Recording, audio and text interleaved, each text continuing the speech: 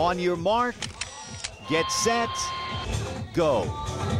As Fashion Week kicked off in Pakistan's cultural capital of Lahore, designers wanted the world to know just one thing we have arrived. You know, we're really good with design and we've got a lot of talent, but it's time to streamline and professionalize and, you know, maybe take Pakistani fashion global. Going global meant bringing big business to the catwalk. Buyers from the UK and US were among the guests who watched as styles both functional and funky flirted with fans. But perhaps most striking is the stark contrast these models and designers pose to the stereotypes about Pakistan.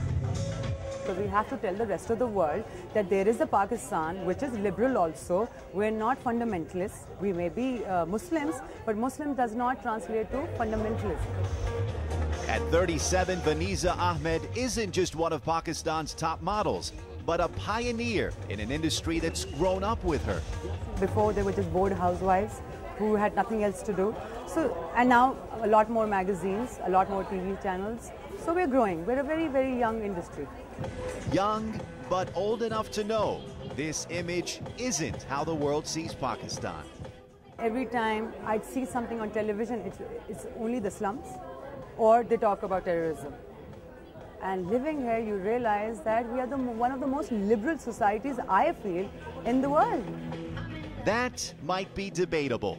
What's not is this. As far as Pakistani fashion is concerned, freedom of expression is the new black. Reza Sayah, CNN, Islamabad.